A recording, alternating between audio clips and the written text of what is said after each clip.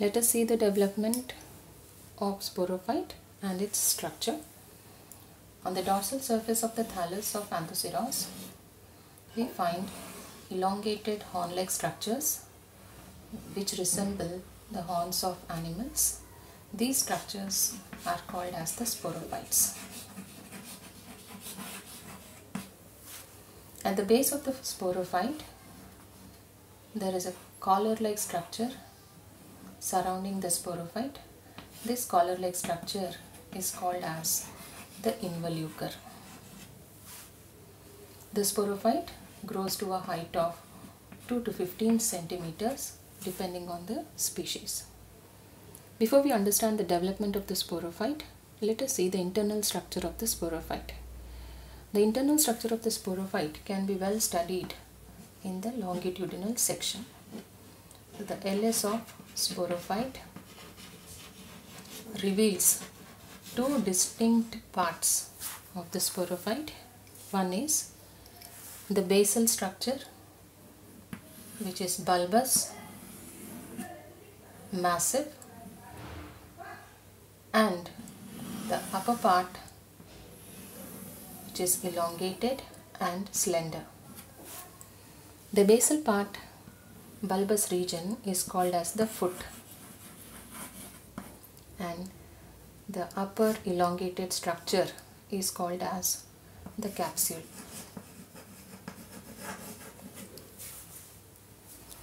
The foot is made up of vacuolated parenchymatous cells.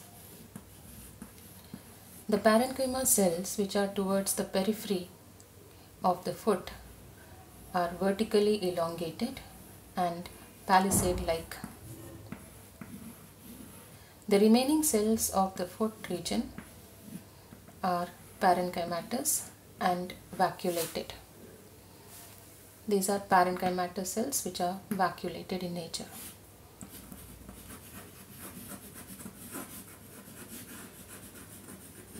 In certain species of Anthoceros, the cells of the foot are drawn into small haustorial-like structures.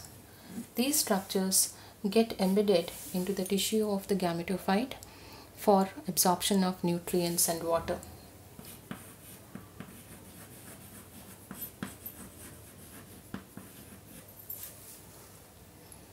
The capsule is made up of 4 to 6 layers of cells. These layers are called as the capsule wall layers. The layers of cells are formed by the periclinal division of the amphithecial cells.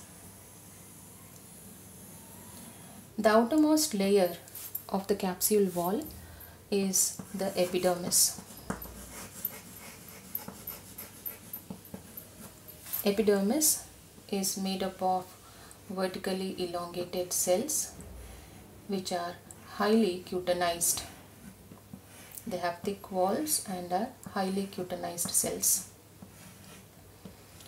The epidermis also shows the presence of stomata and these stomata are guarded by the guard cells.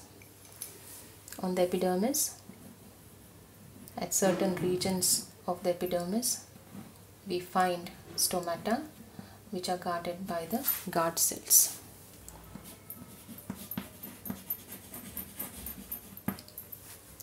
The remaining layers are made up of parenchymatous cells which contain chloroplast.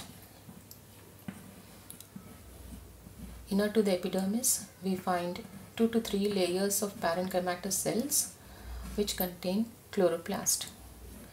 These cells help in photosynthesis. They are the chlorenchyma cells.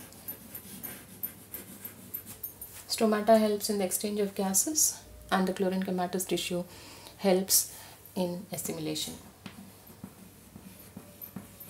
The innermost wall layer of Anthoceros is differentiated as an archisporial tissue. the innermost wall layer forms the archisporial tissue or the sporogenous tissue. The sporogenous tissue contains 50% fertile cells and 50% sterile cells. Approximately 50% of the cells of the sporogenous tissue are fertile. The remaining 50% cells are sterile. In the initial stages of development of the sporophyte, the archisporial tissue appears as a single layer.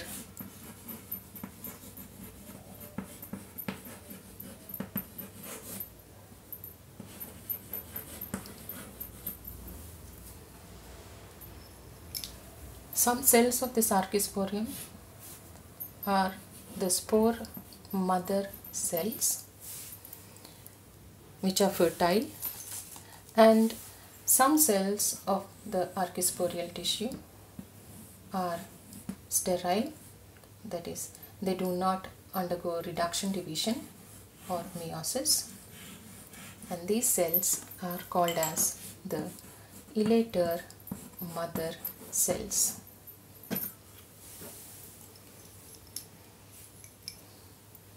The elater mother cells simply elongate at maturity, divide and they form 2 to 3 cells which have irregular shape and help in dispersal. The central region of the sporophyte consists of 16 vertical rows of cells these 16 vertical rows of cells form the columella.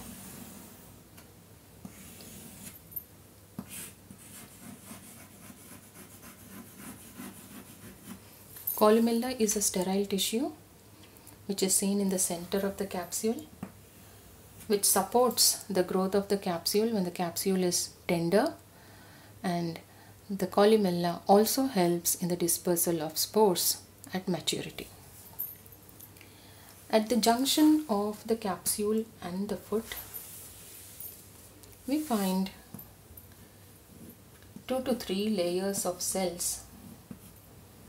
These layers of cells are meristematic in nature and this zone forms the meristematic region.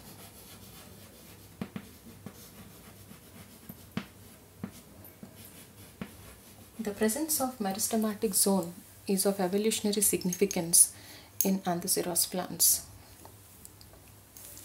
This complete complex structure that is the foot, the elongated capsule, the foot cells, the meristematic region, the wall layers, the archisporial tissue, the columella, everything develops from a single cell which is called as the zygotic cell.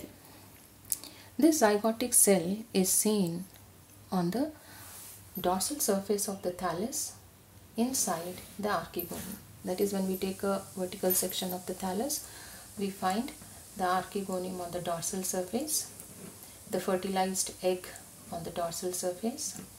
After fertilization, the zygote develops a cellulosic wall around it. This cellulosic wall is called as the calyptra.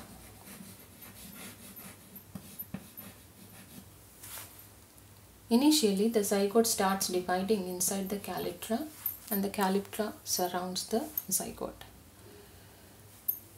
As the zygote increases in its size, that is as the sporophyte develops further, it pierces the calyptra region and emerges out and the calyptra remains as a collar-like structure at the base of this sporophyte. This collar-like structure is called as the involucre which is seen here.